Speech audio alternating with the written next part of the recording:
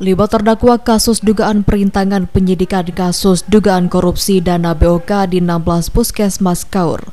Selasa siang dituntut JPU Kejati Bengkulu. Terhadap kelima terdakwa ini JPU menuntutnya dengan hukuman pidana penjara 4 tahun, namun ada juga yang dituntut 4 tahun 6 bulan.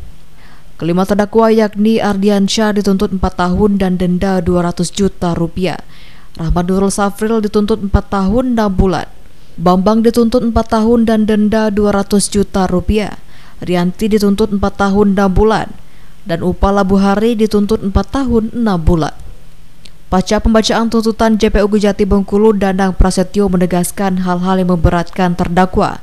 Salah satunya karena berbelat-belit dalam memberikan keterangan. Selain itu tuntutan disampaikan sudah sesuai faktanya, di mana dalam pokok perkara dugaan korupsi kelima terdakwa memang ada melakukan atau menghalangi perkara penyidikan dana POK Kaur. Mengakui terus terang kan, persulit pembuktian itu untuk terdakwa sahabat nanti kan yang lainnya ada yang bersifat sopan persidangan kan ada tuh disimak ya nanti tuntutannya Tuntutan kita bervariasi ya? Ya. Ini kenapa Maksimal? Ardiansa diringankan dari yang lain? Lebih ringan dari yang lain? maksudnya dari siapa? Lebih ringan dari yang lain? Ringan dari yang tiga orang bang. Ardiansa. Iya. Nah, Pasti fakta yang meringankan tadi kan.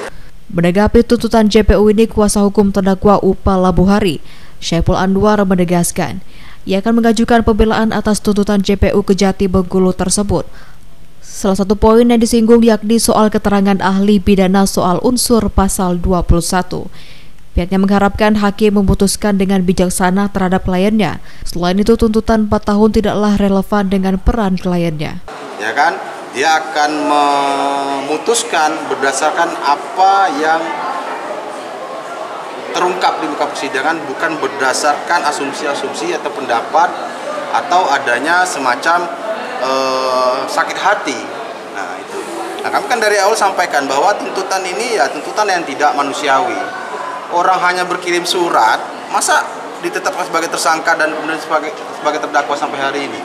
Walaupun dihadirkan oleh jaksa penuntut umum, hmm. Dr. Hazam Trik, dan kemudian oleh ahli yang kita hadirkan, Prof. Suhandi. Ya mereka mengatakan intinya bahwa unsur pasal 21 itu menghendaki adanya perbuatan aktif hmm. untuk menghalang-halangi. Hmm. Nah, faktanya kan tidak pernah ada perbuatan hmm. aktif itu menghalang-halangi. Hmm. Kalau bicara surat hmm. Yang katanya mereka bolak-balik itu, hmm. itu surat itu kan hanya memohon. Senada disampaikan Syaipul, kuasa hukum dua terdakwa lainnya Ranggi Setiadi mengatakan juga keberatan atas tuntutan JPU Kejati. Pihaknya akan menyusun pembelaan dengan pokok inti perintangan belum terlaksana. Eh, empat tahun setengah.